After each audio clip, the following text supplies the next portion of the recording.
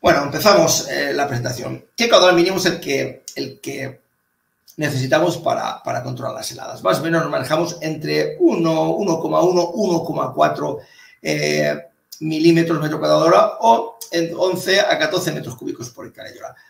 ¿Por qué manejamos diferentes caudales? Por tipo de helada, por tipo de helada y por sobre todo por temperaturas mínimas que podamos llegar, ¿vale? Son los, los, los ah, en el caso de 1,4, de 1,5, puede el caso de un milímetro, pero más o menos son los milímetros que nos vamos a mover.